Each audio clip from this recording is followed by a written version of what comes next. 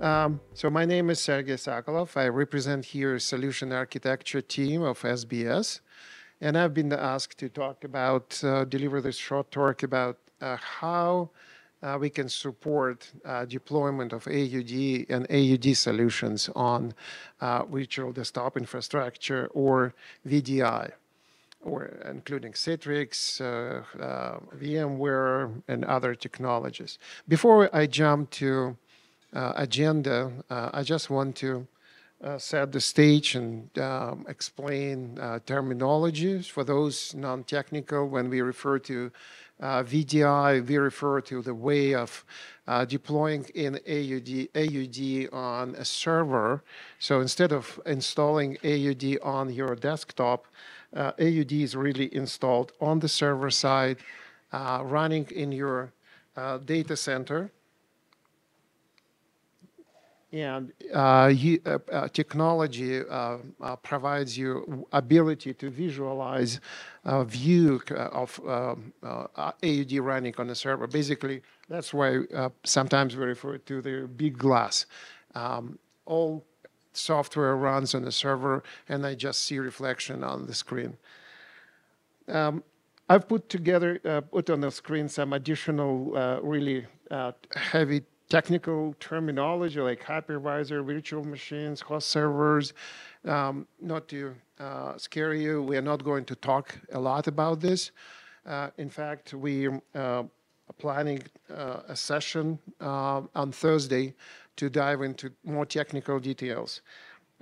Today, um, in the next um, 20 or so minutes, we are going to really talk a few address key concerns or quick key questions uh, that are um, uh, important when your, your organization decides to go to um, and, and, deploy AUD solutions. So it's whether um, uh, answer questions on why, why people do that, why utilities do it.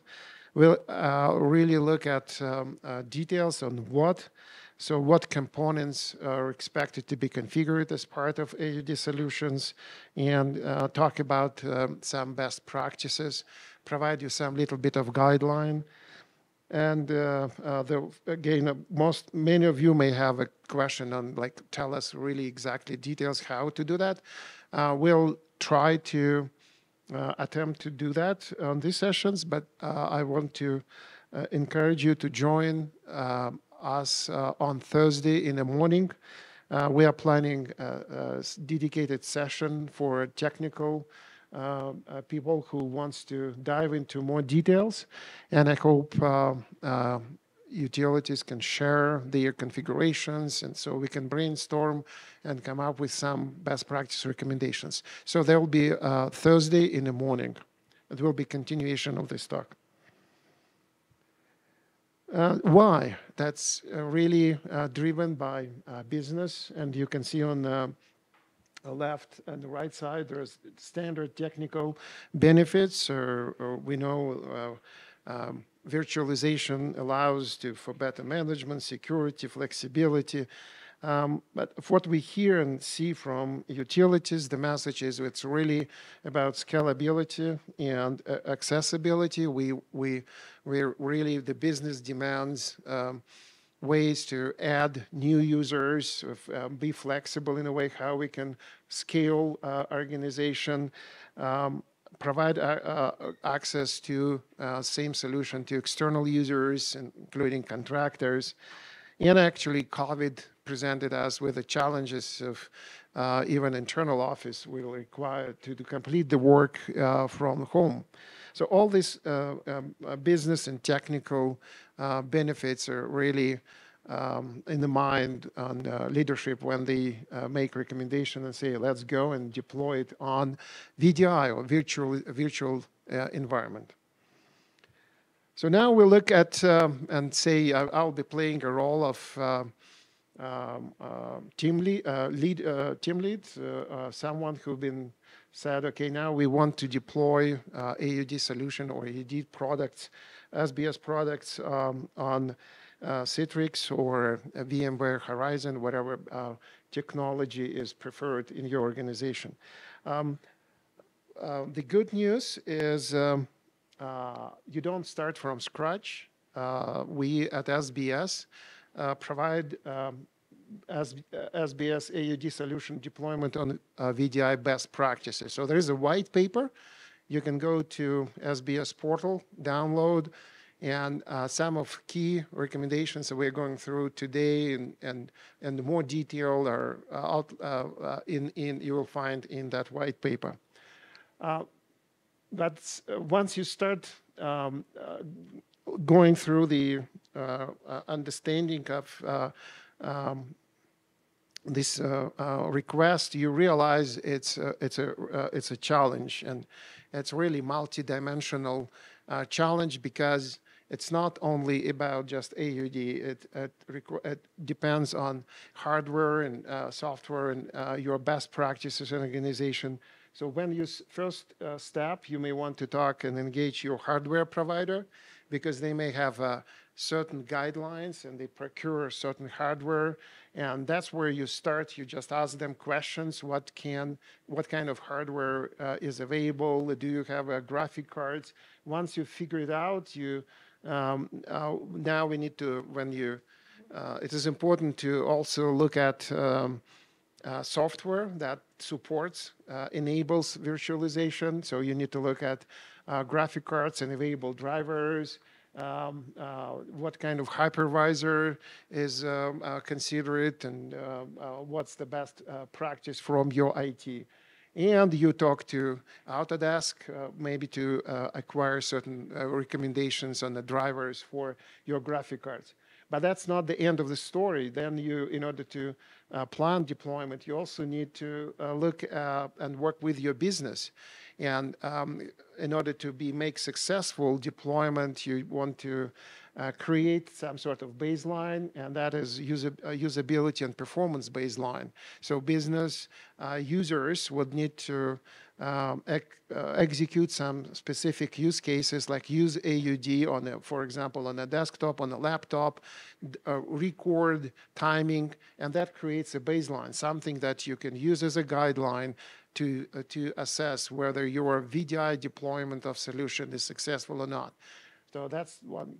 Um, and uh, as, I, uh, as you saw in the previous diagram, uh, AUD is just um, one part of uh, solution. So we need to remember that uh, as a designer, I use AUD, but AUD um, also uh, communicates or gets data from other systems, uh, SAP Maximo EAM system or uh, GIS and uh, works with the uh, drawing, need to persist data in the drawing management system. So really at this stage, you're not necessarily evaluating AUD, but also how the entire solution will work in, a, in a, your uh, um, for virtual, virtual environment. And our impo important part, and that's what we always recommend uh, when you do planning, plan for a pilot. So you uh, now have your hardware, uh, you know, um, uh, you have uh, all the software parts, you have your baseline, um, the, the only way to really um, assess and understand whether it will work and deliver expected results is to, to run the pilot. And the challenge uh, in, in this case is, is not because of um, uh, uncertainty whether AUD will work or not work. It's, it really depends on multi-tiers of uh, involved every, uh, components that involved in virtualization. It's a hardware, hardware with the specific drivers or operating systems that creates the ability to do virtualization, that virtual machine, then delivery uh, to a user. It includes a network, so how, what kind of bandwidth you have. So all these factors are so um, unpredictable until you put together and, and run it in a pilot you're not going to really see, um, understand the uh, where the change needs to be done. And actually, I have some uh, good stories to share because we have uh, um, worked with uh, uh, quite a few uh, organizations to set it up and sadly you see things that never were even expected with the normal setup. in summary, um, when you do planning uh, for deploying an, a, on VDI, uh, certainly include high-level requirements and put it in, as a blueprint. So this, the earlier you start thinking about uh, deployment, and we need uh, to know about this as a, at the time of uh, blueprint. So we uh, uh, it's not necessarily changing the process, but it changes how we can configure uh, components of AUD, and we need to know as early as possible. Um, and uh, licensing, it's another thing to, to remember about, and uh, um, uh, check with Autodesk how, what kind of level of license required to, is, and supported for virtualization. Um, we, uh, I'm going to share some uh, best practices on sizing of hardware for um, the work and um, based on what we hear, what report we receive from our um, number of customers who has gone through this process of evaluating infrastructure, so we can share that, and it's part of the blue uh, of the white paper. Uh, important to implement monitoring tools. So once you deploy uh, because there are so many dependencies of different layers as we talked, including network, it's critical to have monitoring tools in place so you can detect the issue early and can react and address it. Uh, we talked about uh, performance base baseline, and uh, it, uh, it may sound like a complex thing, but reality, it can be a, a simple spreadsheet with some key steps that we uh, users uh, expected to uh, to to do as part of your um, of their business process. Um, but don't just include AUD. Um, create a pole or move a pole. That's important. but please start from step one. I need to log on, how long it does it take to uh, launch the application, what it takes to uh, show the um, uh, data from SAP and um, uh, saving data. So the, all these steps you just lay out in a spreadsheet and put uh, timing that uh, you collect if you do it on a desktop, and that's what creates your baseline. And then you run the pilot, and the pilot, that's where you have um, business users, a group of uh, uh, 10, 5, uh, 15, it really depends on the size of your organization's representative size, uh, group of uh, business users who would log on concurrently and start using system. And um, through the monitoring tools, you will try to uh, kind of see where the bottlenecks are and address them. And once you analyze, get the results, you analyze them, and you go back to drawing board. Uh, again, maybe re-engage hardware vendor, um, talk to uh, software vendors like Microsoft or who delivers those uh, great uh, abilities of configuring graphic cards. Sometimes that's a problem. So, and then you repeat the process. Any questions so far? No? All right. Um, we let, us uh, see what we have in, um, in the best practices. And um, I put uh, on this slide uh, top uh, three or four, and uh, each uh, explains criticality, best practice, and considerations. One thing um, on the top of the list um, is CPU.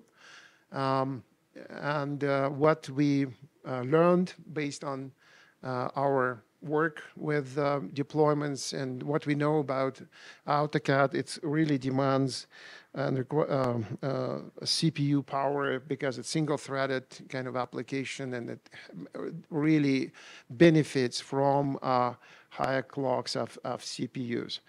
Um, then again, you may have a discussions with your infrastructure team because you may say, oh, in my laptop I have 3.5 gigahertz and plus, it works fine, and you're suggesting hardware which is 2.5, so and there will be an argument that uh, server CPU is uh, not the uh, desktop CPU. So there's lots of good conversations to have, but um, uh, it is expected. And as I said, uh, that's a, uh, as a guideline, um, but really evaluation of performance and impacts on the uh, hardware specs is only through the pilot. Um, uh, RAM uh, typically uh, is good to have. More, the more the better, but it's not necessarily the most critical. As long as we stay within the recommended by Autodesk um, size of RAM, I think we're good. Uh, but the larger projects and the way when we start moving into uh, complex 3D designs, that's where you will see the need to improve and add more memory per session um, but that would be a part of your observations and recommendations. I, wouldn't plan ahead, like uh, say, get 16 gigabytes uh, to all. That may be an overkill. Um, GPU, graphic processor unit, uh, it's important. Um, and uh, really, uh, typically, uh, when we say uh, GPU, uh, everyone pictures the need for 3D models, and that's where the GPU really shines. Um, but from our experience, it's not only the case for uh, AUD, um, we, we know it's all about user end user experience, so how they react. So when we select an object in a VDI environment, it should be highlighted. When I move my mouse, I want to see it's moving along, not just uh, uh, following me and with the trace. So all that's uh, simple uh, rendering um, parts uh, best uh, supported by GPU. So GPU, the message is it's not only for 3D rendering, it also helps to deliver, provide better user experience. And that's, that's what um, uh, we recommend to consider, uh, evaluate GPU adding to your um, uh, infrastructure. Uh, network storage, first of all, it certainly SSD is recommended. It's uh, uh, quite fast, fast, access. But more important is um, what we find with VDI deployments. Um, you uh, mount their mounting drives that provide access to common shared uh, folders that uh, you typically have. Um, they're not uh, impact really dramatically performance. That's where you need to balance uh, whether to go to and uh, ask for better hardware or better connection, or look at AUD solution configuration and see maybe you can improve that through configuration, just not to use that um, slow drives. And uh, that's basically a summary. Um, and we, we see here uh, six gigabytes uh, per session, CPU, one virtual CPU, um, GPU evaluated, and uh, here's a recommendation for um, a server to support 10 users.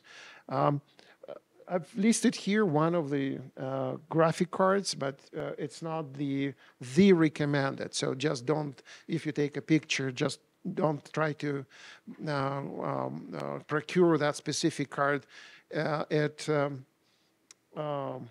it um, um actually old card. So uh, we put it here as an example of uh, what you can uh, uh typical um, uh, card that allows you to get decent, good performance. but there may be many, many, many more variations of those cards. that's the slide you probably have been waiting for. As an, an architect, I can't um, deliver a presentation without really complex slide. And if you can't see all the details, uh, that's uh, just uh, because it's uh, it, it is really provides uh, heavy loaded with all the information. Uh, that may be interesting um, because it shows all uh, details of what that means to deploy AUD AUD solution. It shows um, in the center if you want to read it. Uh, it's a multiple sessions um, uh, and uh, AUD with at run running in at the runtime with um, AutoCAD map runtime with AUD and UDA.js plugins. Um, and they are talking to external systems. Uh, you can see certain protocols starting with uh, licensing. Yes, you need to, in order to run AutoCAD, you need to go to Autodesk and SBS portal um, using HTTPS. Um, we also indicated uh, need to communicate with uh, GIS to get your data in and publish results of design uh, design transactions back to, G, back to GIS. And uh, the reason I put it here, not because of just show you complexity of solution, but because you have to remember that once you deploy a solution on uh, virtual uh, uh, infrastructure, start virtualizing, you need to open certain ports. You need to provide that level of communication to other systems. And uh, that's where you need to talk to uh, configuration team of AUD and talk to your uh, IT infrastructure support to make sure that everything is aligned. And um, it takes time uh, believe me, just to get all parties involved in configuration, uh, understand how uh, a, a, a, AUD solution works, what components it should uh, connect to, and uh, configure that infrastructure.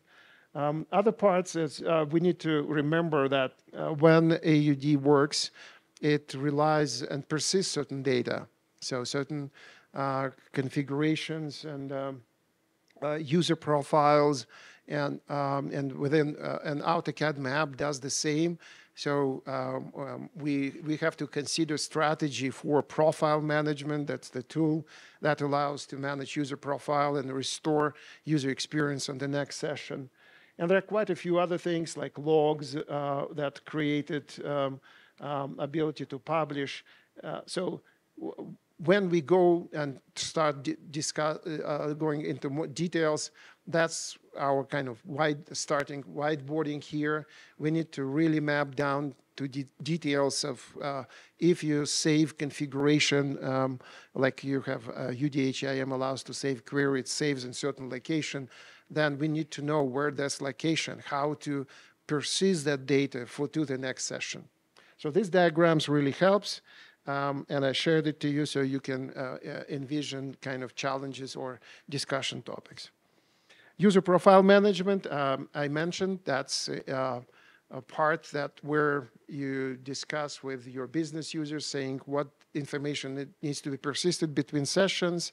Um, there are uh, guidelines, don't make it too big because it takes a lot of time to start AUD. It's not an AUD or AutoCAD starts, it's just system tries to copy uh, megabytes of data to restore your profile and that that's another um, um, lessons learned.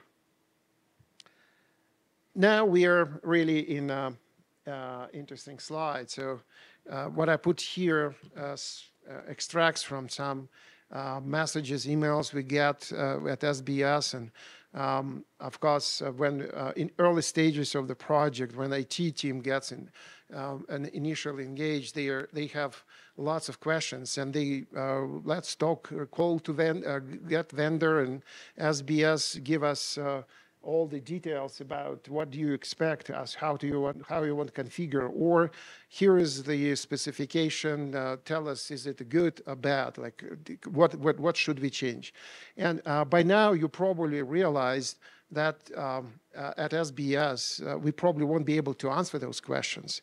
Uh, literally, we can't because there's uh, such a variation of different ways system can be configured and it, it really depends on uh, hardware, on the vendor, on, and the graphic cards, drivers, how you configure your system, what kind of business cases, what kind of network you have to your end users, location of those end users.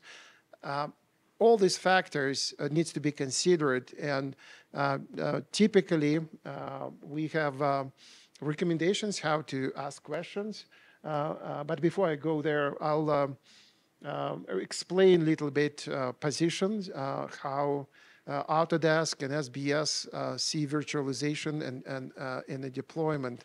Um, we from Autodesk, um, uh, AutoCAD tool sets and the requirements Autodesk pro provide there for real physical deployment, right? So uh, and any, any uh, issues you may discover when you deploy AutoCAD on um, uh, Citrix or other VDI, um, uh, in order to address those issues, Autodesk would uh, expect uh, you to reproduce that issue on uh, on the laptop or physical hardware. And if it's reproducible, it's going to be fixed. Otherwise, the recommendations is to contact vendor or respective vendor. It may be uh, related to some hypervisor, Microsoft, or other issues that triggers that particular performance for example.